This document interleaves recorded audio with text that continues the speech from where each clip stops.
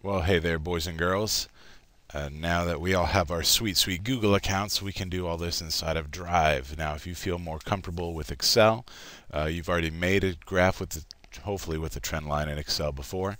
Uh, you can go ahead and open your data. You can go to File, and if you go to Download As, Microsoft Excel, then you can do all the normal Excel type things, which is really fun because then you can practice with either a logistic or an exponential trend line.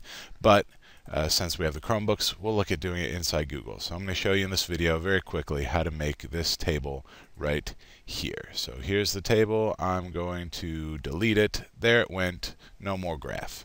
That'll make population size versus year. In Excel, you could grab these two, go to Insert Chart, and it does it perfectly. Google's still in the beta, so we're going to do, we're going to go up to Insert Chart. That's the fancy word for graphs. Now, the first thing you got to do here is select your ranges. If you hit this button, it'll make your life a lot easier because you get this little thing that you can drag around. Whatever it says there, just delete it. Oh look, Windows wants to bother me. Hold on. Uh, don't show this message again. Sorry about that. Back to work. All right, so we got year. Grab it. Grab all your years. Hit add another range. Click on that one. Grab your population size. Do, do, do, do.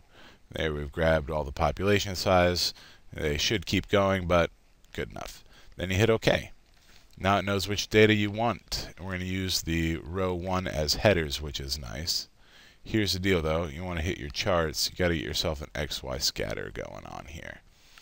So that's in charts. You start with your data, make sure you have that selected, which will be the default, combine horizontally, whatever, hit charts, give it the old XY scatter. Yay, XY scatter. Then click over here on Customize. We'll get this all knocked down at one. Make sure you give it a good title, otherwise you'll be losing some points. Legend at the right is fine. Now here you got to pick your axes. Remember, all your axes need to have a title as well. So on the x-axis, that's a horizontal one, should have generations or years. And if you want to set them in in a max, you can, but you don't have to. Again, since it's Google, saves everything as soon as you click it. Then select your left vertical because you need to have your left vertical axis title as well, which should be population size. Size, children, size. Not population, but size. And minimum, it looks like you got 0 and 500, okay, which is what we should be going with anyway. So now that we have all that, you scroll on down, scroll on down, scroll on down. Trend line. We want to get a nice, beautiful trend line in here. Should be exponential growth, so if we hit this trend line button, look at that. It fits it almost perfectly with our exponential growth model.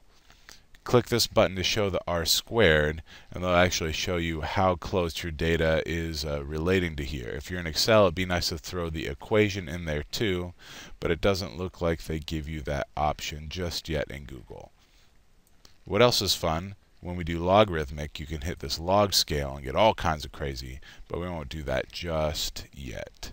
So that's how you do it. You hit Insert, Bob's your uncle, there's a beautiful chart. To add more to it, you can go up in here, click this old girl, hit Advanced Edit, go back to your Start, and you can add more uh, data with your select ranges. And then you could put, you know, how you have to make your two lines on the same graph. That's how you can do it. Just make sure on the second one you're picking from part B, which uh, this group hasn't started yet. So that's how you do that. Good work, children. Happy graphing.